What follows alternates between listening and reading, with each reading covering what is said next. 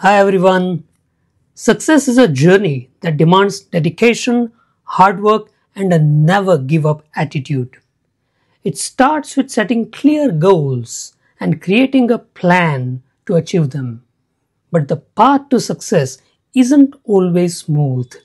It involves consistent effort and learning from our failures. Every setback is a chance to learn and grow, helping us become better prepared for the future.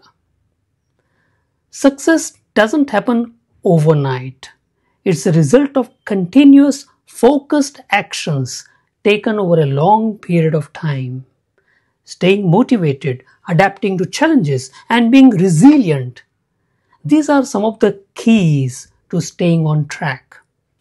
So remember, success is built on hard work and persistence.